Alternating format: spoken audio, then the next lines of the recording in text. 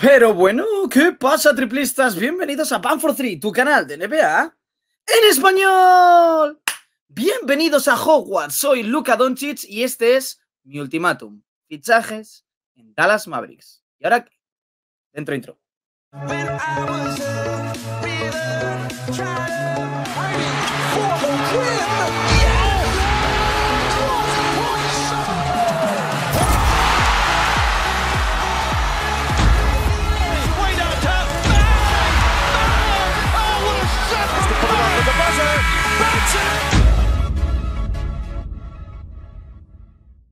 ¿Cómo va esa muñeca triplistas calentando motores para un nuevo vídeo de Ban for 3? ¡Claro que sí! Venga, mano, nos va con un nuevo vídeo, nuevo vídeo, nuevo vídeo. Gracias por el directo de anoche, del de antes de ayer, del de antes de antes de ayer. ¡Qué locura estamos viviendo en este canal con los directos de partido! Anoche, récord en el canal en cuanto a un directo, récord, ojo, en estos playoffs, porque hay que superar los de los pasados playoffs de la burbuja. Estoy seguro de que lo vamos a conseguir en alguno de estos partidos. En ese Game 7 entre Dallas Mavericks y Los Ángeles Clippers, que acabaron llevándose Los Ángeles Clippers con un Kawhi Leonard imperial, el androide Kawhi Bombay, la historia de siempre. Qué grande Kawhi Leonard, qué grande Marcus Morris, qué grande Reggie Jackson y Los Ángeles Clippers, también junto a Apollo George, que pasan a la siguiente fase, a la siguiente eliminatoria de los playoffs de la NBA. Mientras Dallas Mavericks queda eliminado, Luka Doncic, Imperial, de Hogwarts, de Harry Potter. Es que es el principito. Qué locura, qué playoffs, qué increíble es Luka Doncic. Eso lo tenemos todos claro, pero también tenemos todos claro que está poco acompañado, o al menos eso aparenta en Dallas Mavericks, y aparentan y vienen cambios en Dallas Mavericks, sobre todo fichajes y movimientos en la plantilla, porque he estado analizando el payroll y no es la primera vez que he analizado el payroll de la plantilla, ya os he hablado en alguna otra ocasión de posibles movimientos con Cristal Porzingis, el unicornio, de posibles fichajes en la agencia libre que van a tener espacio salarial este próximo verano con Kawhi Leonard, aunque ahora ya parece que la cosa empieza a cambiar, porque claro, Kawhi sube para arriba en los playoffs y no sé yo, vamos a ver el futuro de Kawhi Leonard, veremos qué pasa con él. Y, pues sinceramente, tiene que haber cambios. Tim Hardaway Jr. no puede ser el segundo espada de Luka Doncic. Es un gran jugador, es un gran anotador, es un gran triplista, pero no puede ser el segundo de a bordo y encima superando, ya es decir, ¿eh? eso lo dice todo, a Kristaps Porzingis, el unicornio sin cornio, que le llamo yo, en la, en la rotación de, estrellas. Se ha convertido en la segunda estrella Tim Hardaway Jr., que por cierto puede que salga de Dallas Mavericks. Vamos a hablar del payroll, vamos a hablar de posibles fichajes y ese ultimátum, porque ojo, a Luka Doncic le queda una temporada y tiene que hacer una extensión de contrato. Cuidadito con esa extensión de contrato. Vamos a ver qué pasa en Dallas con Luka Doncic y con los fichajes, que va a haber movimiento seguro en la próxima agencia libre y en el próximo mercado de fichajes. Pero antes te tengo que pedir que te suscribas. ¿Y cómo te puedes suscribir, triplista? Pues metiendo un triple por ahí abajo en el botón suscribirse y además un buen like que me viene muy bien para seguir creciendo. Ya sabéis, redes sociales, arroba Adri La Fiebre en Instagram y arroba Pan43 en Twitter. Y, como siempre digo, comenzamos. voy a coger aire. ¡Comenzamos! ¡Claro que sí! ¡Claro que sí! Nos vamos al payroll de Dallas Mavericks y es que nos vamos al contrato de Luka Doncic. Luka Doncic, 22 años, está en esta temporada en 10,1 millones. Bueno, esta temporada no, esta temporada está en 8, ¿vale? La próxima temporada está en 10,1 millones. Es la última temporada que tiene Luka Doncic de contrato contra las Mavericks. La próxima, porque tiene que renovar esta misma temporada, tiene que hacer una extensión de contrato y ahí ya va a ser una millonada, porque de 10 va a pasar a 30 y pico, como ya hemos visto en otros muchísimos casos. Pero ojo, tiene que hacerla lo más normal es que ocurra esto, que ocurra esto, que al final eh, renueve, renueve, no, extienda contrato, además por una millonada, con Dallas Mavericks por dos, tres temporadas más. Pero cuidado porque el ultimátum de Luka Doncic está encima de la mesa de Mark Cuban. Y es que, oye, mira, necesito ayuda. Soy un jugador de 22 años, pero soy una superestrella de la liga que te puede hacer ganar ya. No hace falta esperar mucho más. Te puedo hacer ganar ya si me rodeas bien. Lo ha demostrado en la burbuja y lo ha demostrado ahora, forzando a Los Ángeles Clippers a esforzarse al máximo, forzando a un séptimo partido y además haciendo locuras, locuras, locuras, Luka Doncic. Por lo tanto, nos vamos a pues el payroll. Porque muchos preguntáis, ¿qué pasa con Porzingis? Pues Porzingis tiene contrato esta temporada, la próxima, la próxima y la próxima tiene otra opción de contrato hasta el 2023-2024 tiene contrato Porzingis. Por lo tanto, bueno, habría que intentar mover ese contrato de 31 millones para la próxima temporada, 33 y la siguiente y 36 la última, con opción de jugador a otro sitio en busca de otra superestrella. O, bueno, quedártela porque aquí es donde viene lo interesante del payroll de Dallas Mavericks. Tim Hardaway Jr. estaba en 19 millones esta temporada, agente libre este verano. Mm, importante agente libre para muchos equipos de la NBA. ¿eh? Tim Hardaway Jr. es libre desde ya. Libre Tim Hardaway Jr. y bueno, pues ahí sumamos 19 millones libres para Dallas Mavericks. JJ Reddick, 13 millones, agente libre, libres para Dallas Mavericks. Nos vamos también con Nico Melli, 4 millones que se van también libres para Dallas Mavericks. Nos vamos también con uh, Boban Marjanovic, 3,5 millones libres, agente libre también, para Dallas Mavericks. Y si sumamos todo esto, si sumamos todos estos millones, nos van a dar 40 millones libres.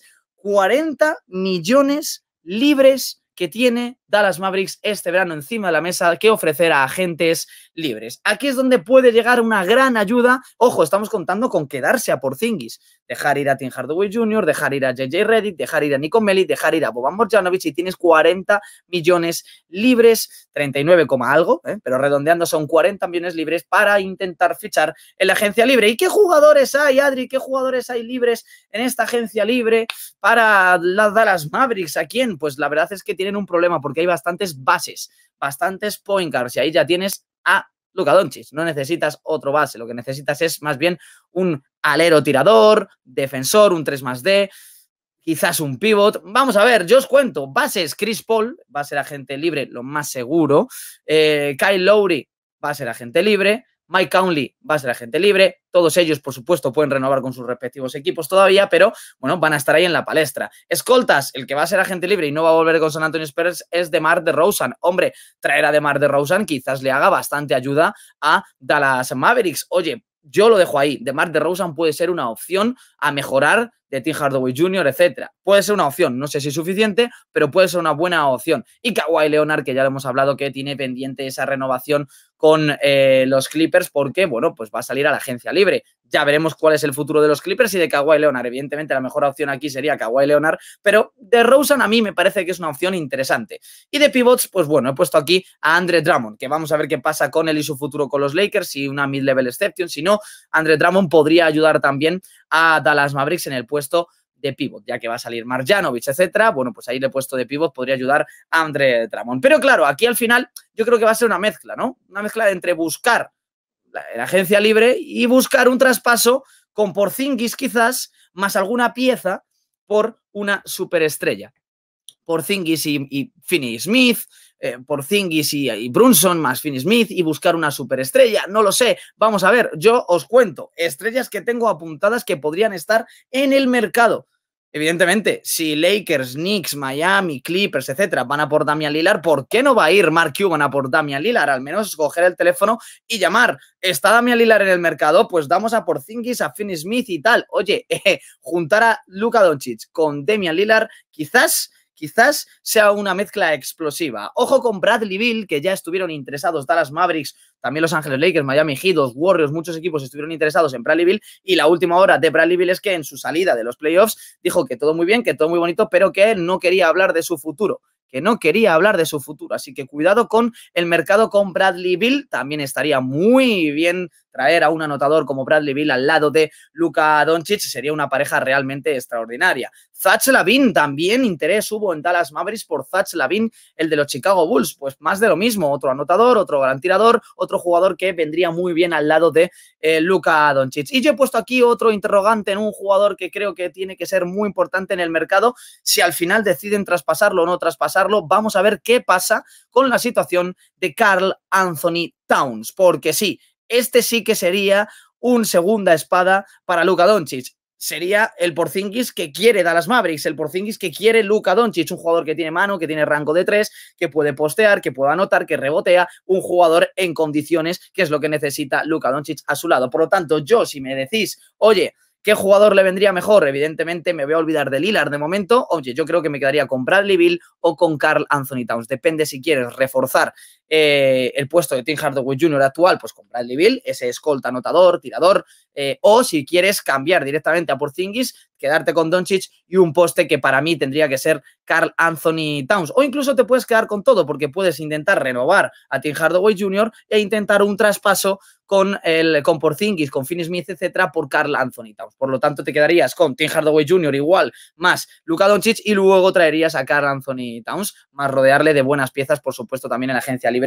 a Dallas Mavericks, a Luka Doncic. Oye, esto es lo que yo creo que va a pasar. Creo que hay un ultimátum de Luka Doncic encima de la mesa porque tiene que tener una renovación, una extensión de contrato además millonaria, en Dallas. Cuidado, Mark Cuban, es el momento, es ahora o nunca. Tienes a un jugador legendario, histórico, que va a marcar una época en la NBA. Tienes que traerle las piezas adecuadas y subirás el nivel si es que se ve. Es lo que necesita. En cuanto Luca Doncic descansa, el equipo se viene abajo. Necesita piezas de valor, mantenerlas que han funcionado y, oye, pues tráete a uno de estos jugadores, tráete ayuda para Luka Doncic, que seguro, estoy seguro de que va a demostrar Luka Doncic que con ayuda, con un poquito de ayuda y con un equipo en condiciones, pues van a pasar de ronda, van a ir ahí, van a ser contenders y quizás, quizás, amigo Mark Cuban, quizás te plantes unas finales de NBA y quizás te lleves un anillito, ¿eh? Otro más, el de la era Novitsky y el de la era Luka Doncic. Está en tus manos, Mark Cuban, está en tus manos el futuro también de Luka Doncic en Dallas Mavericks. ¿Tú qué opinas? Pues ya sabes, abajo en comentarios, siempre son bienvenidos los comentarios. Madre mía, ¿eh? esta noche en directo, Brooklyn Nets, Milwaukee Bucks, última hora, sin James Harden. No va a estar James Harden en este partido y tiene la sensación de que como encima ganen este partido Brooklyn y les vayan bien las cosas, va a descansar James Harden toda la serie. Pero bueno, son cosas mías. ¿eh? La información es que este partido no lo juega, tampoco lo juega Jeff Green bajas considerablemente sensibles para Brooklyn Nets que no se notaron en el primer partido. Vamos a ver si se notan en el segundo partido. Lo vamos a ver en directo aquí en Banford 3, así que os espero a todos esta noche para el Brooklyn Nets contra Milwaukee Bucks. Dicho esto, yo me despido. Redes sociales, arroba Adri la fiebre en Instagram, arroba Banford 3 en Twitter y nos vemos en el próximo vídeo. Hasta luego, triplistas.